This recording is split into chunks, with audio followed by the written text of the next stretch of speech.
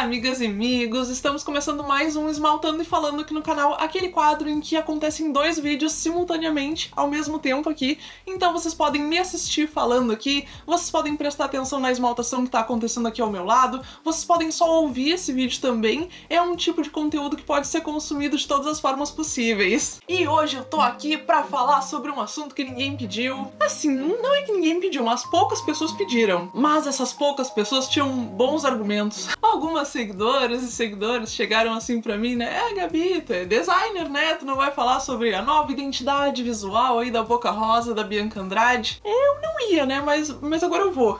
Tá, até assim, ó, eu pensei em fazer um vídeo aqui sobre esse tema, só que há algum tempo atrás o assunto tava muito recente, ele tava ali naquele fervo ainda que as pessoas estavam com muitas opiniões e dando essas opiniões de uma forma muito incisiva. Eu queria que a poeira baixasse um pouquinho, mas além disso, a nova identidade visual da Bianca Andrade, da Boca Rosa, ela foi pensada para a linha de maquiagens dela, então é uma identidade visual que ela foi aplicada a produtos. Então, quando isso acontece, é interessante que a gente espere para ver o produto final mesmo, porque nas imagens que a gente faz ali para as redes sociais, nesse preview da marca mesmo, a gente consegue deixar bonitinho. Então eu achei melhor esperar para ver a aplicação dessa identidade visual nos produtos mesmo, que para mim é o mais importante. E entre ontem e hoje eu vi muitas pessoas recebendo os press kits, muitas pessoas que compraram também os produtos na live dela e já estão recebendo, então eu tô vendo os produtos nas mãos das pessoas, tô vendo mais essa aplicação na prática mesmo, e era o que eu queria. Vocês que me acompanham aqui já sabem que eu sou formada em design digital pela UFPEL. Então assim, gente, eu sou designer por formação,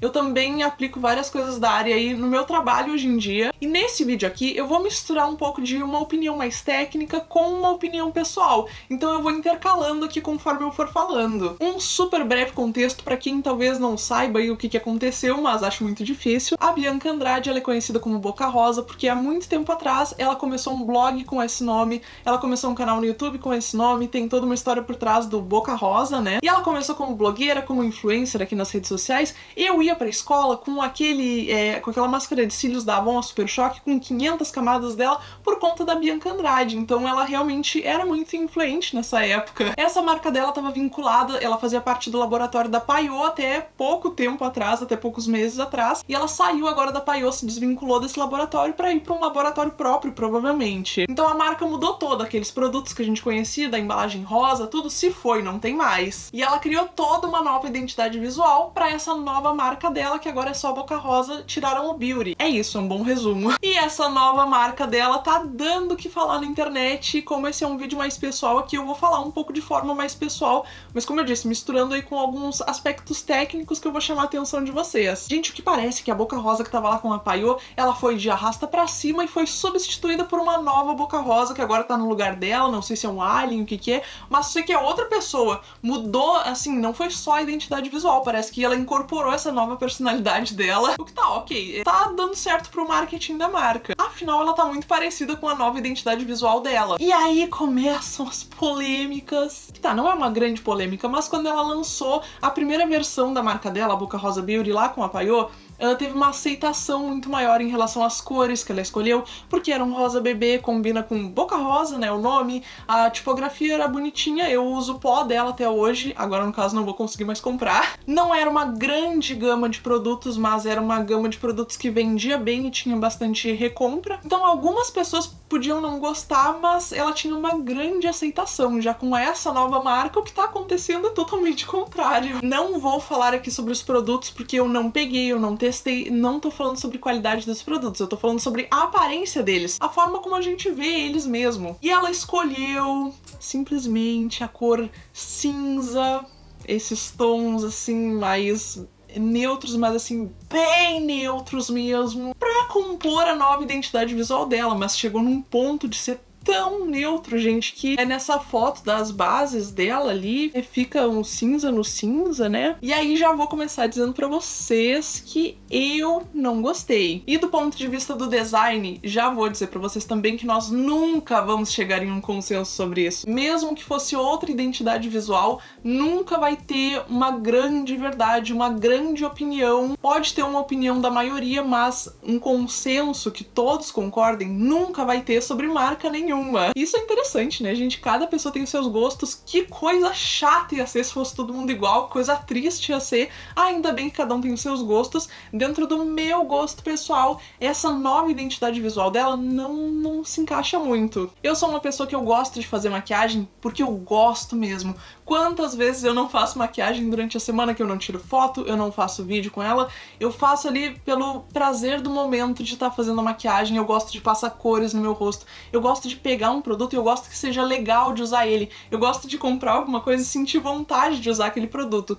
E comigo, assim, tá acontecendo o contrário com essa linha da Boca Rosa. Não teve, até o momento, nenhum produto que eu tenha olhado e pensado assim, pô, vou comprar isso daqui. Tá sendo bem contrário comigo mesmo. Cada vez que eu vejo mais os produtos nas mãos das pessoas, eu fico, é, eu realmente não vou comprar. Mas isso vai totalmente de gosto pessoal. Mais uma vez, falando do ponto de vista do design, ela tá seguindo uma tendência que tá super em alta no momento, que é a tendência traduzindo aí, né, das garotas limpas, ou as clean girls aí que tá super em alta, não só aqui no Brasil, tá no mundo inteiro praticamente. A Hailey Bieber, ela tem uma marca, a Road, que ela tá seguindo super essa tendência também. Por acaso, a cor principal da Road é cinza também, e para que vocês possam ver que não é uma coisa a ver com a Bianca nem nada assim, é, eu também não gosto da Road. Para mim, remete um pouco a um medicamento. Parece quando a gente vai na dermatologista e ela diz assim: Ah, eu sei que tu não quer usar esse produto aqui, mas ele vai fazer muito bem pra tua pele, tu passa esse produto aqui, ó, todos os dias que ele vai fazer bem pra tua pele. Ele é feio, mas ele vai fazer bem pra tua pele parece um pouco isso para mim. As embalagens elas ficaram um pouco mórbidas, na minha opinião. Então, assim, falando em uma questão mais técnica desse ponto de vista, ela tá certa em lançar coisas dentro da tendência do momento. Muito provavelmente ela vai atrair um público muito forte, um público bem novinho, assim, de adolescentes e tudo mais. Ainda mais que ela colocou essa proposta da praticidade para levar na bolsa, para ser fácil de aplicar, pode aplicar com a mão mesmo. A, a embalagem é toda pensada para ser prática na teoria, né? Então eu acho acho que partindo desse ponto de vista, ela até que tá certa, né, gente? Porque eu acho que vai ter uma grande parcela do público, principalmente o público que já gosta de road, que gosta dessas marcas que são bem, bem assim, a pura limpeza. Eu acho que esse público vai gostar da marca dela atual, da identidade visual pelo menos. E aí é como eu disse para vocês, entrando um pouco aqui na minha área, na minha área de atuação no caso, quando a gente viu lá a foto que eles fizeram, teve uma foto em específico que eles fizeram do, do bastão de base, do stick, com a caixinha ao lado. Essa caixinha tem um beijinho em rosa. Essa imagem eu achei bem bonita. Por quê? Porque ela não ficou mórbida. Só que se tu tira a caixinha, se tu tira todos os detalhes em rosa que tem na foto e tu pega só o produto, pra mim ele continua só aquele cinza no cinza. E aí é outra questão que eu quero entrar também. Eu olhei o manual de identidade visual da marca, olhei as explicações, me parece como uma pessoa assim que já conviveu com muitos designers, vê aí o que acontece, né, nesse meio. Me parece muito que a Bianca talvez, supostamente, possa ter tido uma opinião super forte sobre o que ela gostaria da marca. Ela viu uma tendência lá e ela disse: Não, eu quero minha marca assim, assim, assado. E quando a chefona fala, o que, que o designer faz? ele faz o que ela tá pedindo, gente. Quando a gente é contratado como designer para fazer alguma coisa, a nossa opinião ela até conta até certo ponto, para algumas pessoas até não chega a contar nada. Tristeza, né, gente? Mas o que conta mesmo no final é o que a chefona, é o que a pessoa ali que tá te contratando quer e ela tem dentro da cabeça dela. E eu acho, assim, me parece que possa ter acontecido isso. Então pessoal tá, gente, esse designer da Boca Rosa, e eu acho que pode não ter sido necessariamente uma escolha dele, isso tudo que aconteceu. Eu achei a tipografia escolhida muito simples. Dentro do manual de identidade visual, eles colocaram uma tipografia de apoio ali e também a explicação dela dizendo que a serifa é moderna, não sei o que, é um pouco contraditório, então eu acho que. O que, que eu acho que aconteceu? Eu acho que escolheram todas as coisas antes, tipo, ela já chegou com uma ideia do logo, ela assim, eu quero um logo assim, escrito no Word, com a tipografia mais simples que existe, assim, coloca uma roboto, uma Arial ali, depois a gente pega essa coisa que eu quero e coloca dentro de um grid e coloca uma explicação depois.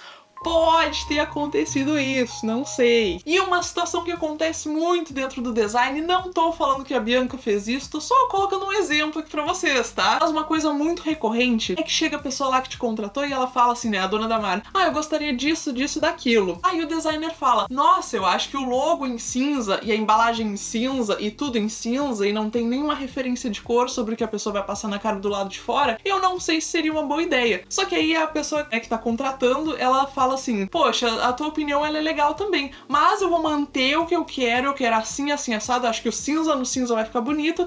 E se tu não quiser fazer, o meu sobrinho faz por muito menos que tu, então não precisa nem te preocupar. É uma situação hipotética aqui, não tô dizendo que a Bianca tenha feito isso, mas é uma coisa que acontece bastante. Então eu não gostei dessa identidade visual nova, isso não tem nada a ver com o que eu acho sobre a Bianca, com é, toda a força que ela tem no meio do empreendedorismo. Não tem a ver uma coisa com a outra, eu estou falando especificamente sobre o visual dos produtos. Não é algo que tenha me atraído. Não acho que tenha ficado legal cinza no cinza. Eu acho até que se pegasse os sticks da base e ali onde está escrito Boca Rosa, a palavra rosa tivesse em rosa, eu acho que já ia dar um, sei lá, um sal pra coisa. Eu achei meio peculiar também que as bases não tenham nenhuma referência visual de cor sobre o que tu vai aplicar no teu rosto do lado de fora. É, as pessoas que vão comprar três, quatro tons de base, elas vão, elas vão ter que abrir todas cada vez que vão usar. Tem a referência visual de cor na, na caixinha. Normalmente, eu não sei vocês, eu boto fora a caixinha das embalagens, então eu fiquei um pouco em dúvida em relação a isso. Eu fico pensando também um pouco no pós disso também. Eu sei que é uma preocupação que talvez ela não tenha nesse momento, ainda mais agora que ela tá no controle sobre o laboratório e tudo mais, porque essa tendência aí dessa limpeza toda, dessa coisa clean, ela é muito muito do momento. Um momento que eu tô torcendo para acabar bem rápido. eu, no caso. Mas as tendências elas acabam e eu não sei se ela já fez. Com certeza ela fez, gente, mas pensar um pouco sobre o depois da marca. Quando voltar uma estética mais que tenha produtos mais rebuscados, com mais cores, quando dela for ficar lá na prateleira junto com outros produtos eh, mais tchananã, ele vai se retrair um pouco ali no meio e eu não sei como vai ser esse momento em que essa tendência passar. Mas talvez a Bianca nem queira saber disso agora. Como eu disse para vocês, falando aí aí sobre essa questão do design mesmo, nós nunca vamos chegar em um consenso porque designers têm estilos diferentes, cada um tem uma visão, cada um tem as suas referências. Eu dei meu ponto de vista aqui e aproveitei que eu me formei com várias pessoas, né, da minha turma da faculdade que eu ainda converso, ainda tenho contato, são minhas amigas, são meus amigos, e eu perguntei para eles o que, eles achavam sobre essa questão aí da identidade visual. E vou deixar algumas opiniões aqui para vocês, para que vocês possam ver que realmente a gente se formou tudo junto e mesmo assim a gente não pensa exatamente da mesma forma, e isso é a parte mais legal realmente, que cada um tenha uma visão diferente, cada um tenha um gosto diferente, eu acho isso muito legal. Então o Ali disse: Eu achei o símbolo da marca e tipografia bem bonitos, bastante condizente com a pegada minimalista que grandes brands estão seguindo. Entendo a escolha de cores neutras para as embalagens, contrastando com a cor do produto em si e trazer uma vibe clean girl, mas acho que como marca perdeu personalidade, principalmente pela questão da cor. A aplicação de cinza sem nenhum fundo de saturação é triste, traz um tom de melancolia para a marca que é sobre autoestima e empoderamento. E eu concordo bastante, principalmente com esse ponto da melancolia, como eu disse para vocês, me remete muito a um remédio que eu seria obrigada a usar E a Carol disse: Acho que a identidade visual remete à estratégia de marca que foi definida. Entendo que seguir para um modo minimalista foi para se afastar de uma visão de marca popular e se alinhar mais com a sofisticação de marcas como a MAC. Com certeza, essa nova identidade visual foi projetada para mudar todo o posicionamento da linha de makes dela daqui para frente. Por isso, o estranhamento de ser algo tão diferente. Acredito que ela queira trazer uma postura diferente de marcas como o Pink e mais próxima com o que a Mari Maria tem feito. Tanto que ela mudou toda a comunicação no Instagram. Agora os posts seguem uma linha cinza. Ela mesma tá vestida de cinza e isso me lembra a comunicação da Mari Maria com o laranja. Entendo que ela queira seguir uma estratégia próxima, apesar delas terem a maior rixa como influenciadoras. Tanto que teve um pouquinho de treta entre elas, né? Vou falar sobre essa questão do pó daqui a pouquinho. Outra coisa é que quando ela começou o Boca Rosa era bem mais nova e querendo ou não, o rosa remete muito à menina. Agora ela tá em uma fase diferente, onde é mulher, mãe e talvez esteja focando em makes mais maduras do que fazia anos antes. Ao meu ver, ela pecou só no fato de ter deixado rosa totalmente totalmente abandonado, como se riscasse uma linha entre quem ela era e o público que tinha, para quem ela quer ser agora e o público que deseja alcançar. Eu, no lugar do designer que fez a marca, teria proposto a ilustração da boca com um tom de rosa claro, que não fosse puxado pro pink, para mostrar o amadurecimento da marca e da influenciadora, só que sem negar as raízes. Mas isso pode muito bem ter sido porque marcas com uma única cor têm a impressão mais barata e ela quis economizar na embalagem para lucrar mais com o produto. Ficaria distoante ter a marca de um jeito na embalagem e de outro nas comunicações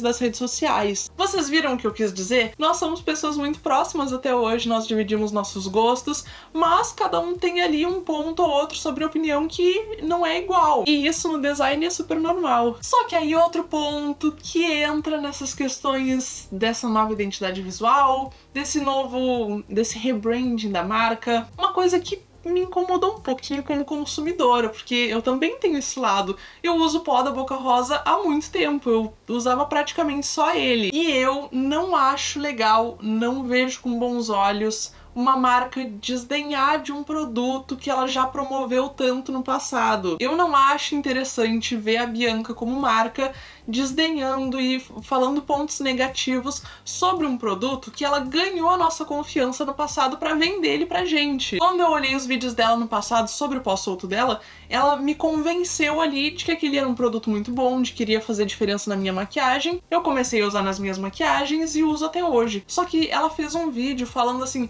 "Ah, porque o pó solto ele não é nada prático, porque o novo pó dela, ele é compacto". Então ela quer vender essa nova ideia do pó novo, que ele é muito mais prático e tudo mais, que realmente o pó compacto ele é mais prático. Mas precisava colocar um ponto tão negativo no outro produto dela, que talvez depois ela queira até lançar um pó solto nessa nova linha de maquiagens dela. Eu falando agora como consumidora da marca e como uma pessoa que usa o pó dela, que usou por muito tempo, já gastei várias embalagens desse pó solto dela. Quando eu vi aquele vídeo, eu me senti super de desanimada, desapontada, sabe? É, me deu uma sensação de agora ela vai lançar a marca nova e aí vai dar um ano. Todo mundo vai estar usando a base stick dela e ela vai falar: ai gente, mas base em stick nada a ver, gente. Parece que a, a minha confiança foi um pouco embora como consumidora. Então essa é a minha opinião sobre essa nova identidade visual da Boca Rosa. E outra coisa que eu já estou aqui um pouco preparada também é que eu sei que a Bianca, ela tem muitos seguidores